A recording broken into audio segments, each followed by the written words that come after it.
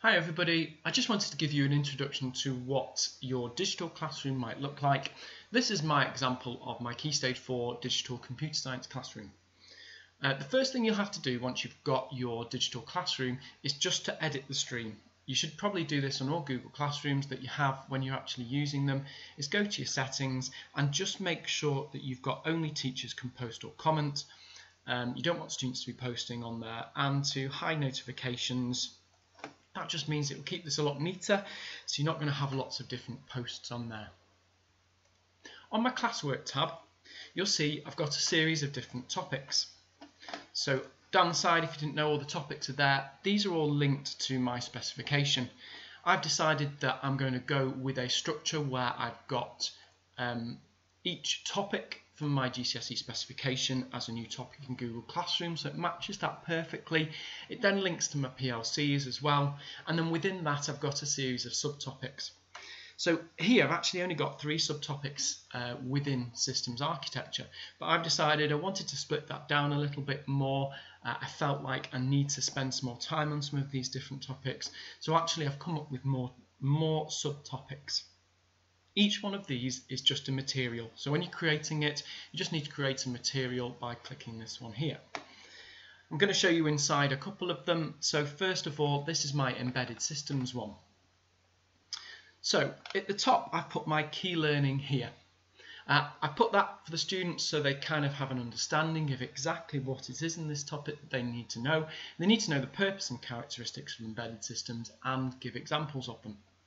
So in here, I've put the materials which I think will help the students the most. I've not put 100 different links. I've really kept that down to a couple because I want that to be real quality and I know we don't want to bombard the students with that. So I put a video here from YouTube. It's from a series of teachers who do online teaching about computer science and decided in this instance that I think this video is better than the GCSE pod for computer science. It has a little bit more depth to it, so I've decided to add that one there. You can add a GCSE pod if you wanted to, and you can add YouTube materials. If you just click edit, or the first time you see it, remember you can add materials just here. So, in the first wave, all you need to do is put any PowerPoints that you use so students can recover those and get to those at any point. It's a fantastic opportunity for students who have missed lessons um, or joined the course late to actually go and get those materials. Um, they'll always be there and they'll act as a revision resource as well. So all I've done is just uploaded a PowerPoint that I use. It's supposed to be a material, so remember we're not, setting, we're not setting assignments here.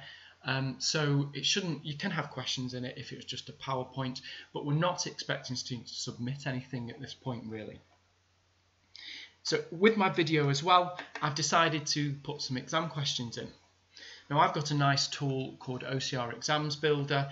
I know lots of different exam boards have different tools to help you do this. So I've pulled down some questions. It doesn't mean that you can't go and print screen some questions from other exam papers. And I've just uploaded them. Um, I'm not asking students to complete those online. I'm not looking to give them feedback directly. Uh, at this point, we're just giving them the questions linked to this topic. Then what I've actually done is I've put a bit of a walkthrough on there as well. So my walkthrough is a video.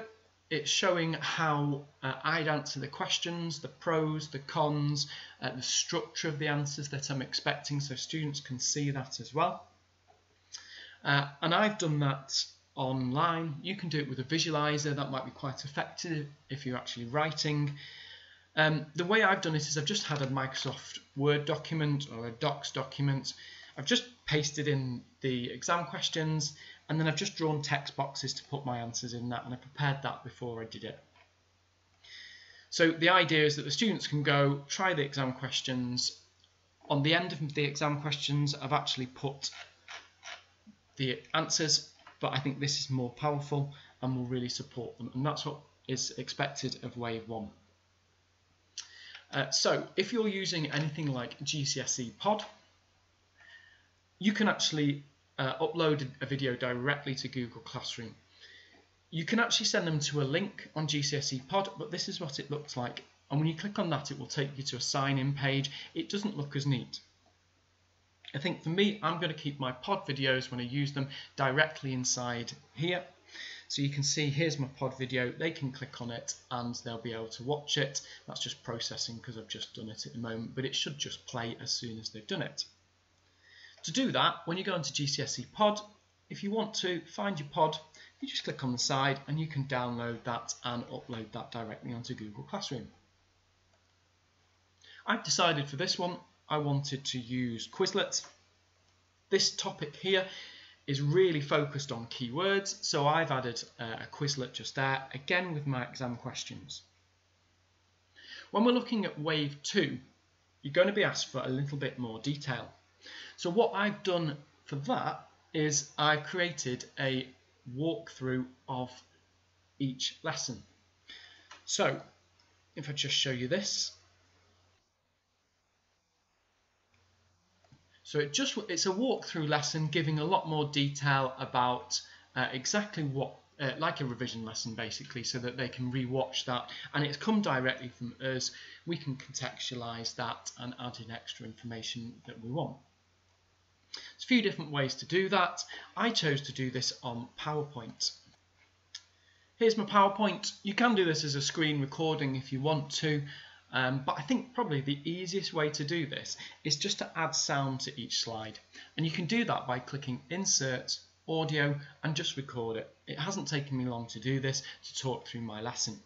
Once you've got audio on every slide or wherever you want your audio, if you click File and then Export, you can create a video and it will create it automatically for you with transitions and everything else. You can download it directly or upload it rather onto Google Classroom. But I've decided that I'm going to make a YouTube channel so all my videos are in one place.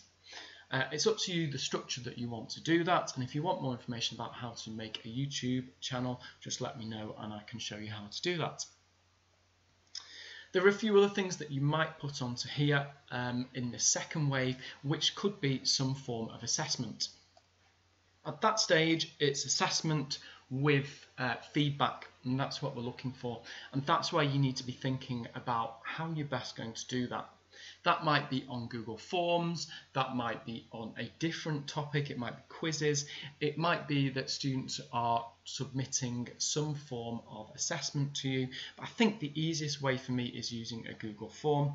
Remember that on a Google form, what you can do is you can create a Google form directly and the power of Google Forms is that it automatically gives you feedback and you can direct students to resources if they're struggling um, when you're doing assessments in the future, you're linking this to your, if you're thinking about your PPEs, if a student's got a weakness in a certain topic, the idea is that you can set them an assignment directly for certain topics. It might be this computer systems topic, where at the end there's an, an assessment where the students can then show their, their improvements and show their understanding uh, so it's everything in this package. And the idea is this then will link to the revision schedule that students will get at the end of the year. Remember everything's put into your ClassDrive folder, so if you ever wanted it as a package um, for a student, let's say, who hasn't got um, internet at home, you could have all that package there as well. And then you can quickly flip to the different topics just down here. So I've just started working on my systems architecture one uh, and then I'm going to move through my products as I go forward. If you do have any questions, please let me know and hopefully that has helped.